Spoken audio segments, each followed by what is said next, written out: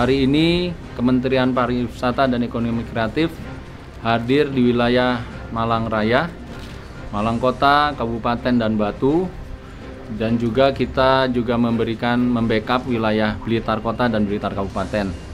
Tujuannya adalah untuk memberikan bantuan kepada para pelaku industri pariwisata.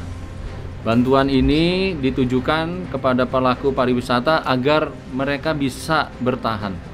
Ya, dengan masa Covid ini kita semuanya tahu bahwa ini adalah masa yang berat dan sektor pariwisata adalah sektor yang terdampak duluan dan mungkin sektor yang terakhir dulu untuk bisa uh, bangkit gitu ya. Makanya uh, kementerian hadir untuk memberikan bantuan kepada para pelaku industri pariwisata tersebut.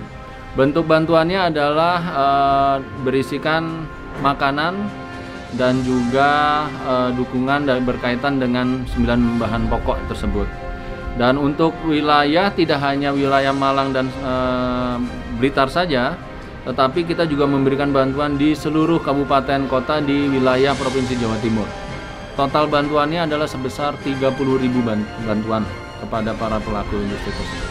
Hari ini saya datang ke Malang dan saya melihat luar biasa begitu antusias dan bersemangatnya warga Malang Raya, Malang Kota, Kabupaten dan Batu. E, mereka saling bekerja sama, membantu, dan hari ini saya mendapatkan ilmu yang luar biasa dari wilayah Malang ini berkaitan dengan Kampung Tangguh. Nah, ini adalah satu uh, inovasi yang dibangun yang saya lihat bahwa yang hidup di dalam kampung tangguh ini adalah e, rasa gotong royong, saling membantu sesama masyarakat. Dan ini mudah-mudahan inovasi ini bisa saya tangkap dan saya coba gaungkan ke wilayah-wilayah yang lain. Penyemangat tentu saya yakin dan sadar bahwa teman-teman dari Malang bersama melawan corona ini luar biasa sekali didasari pada wujud keikhlasan dan rasa tanggung jawab bersama.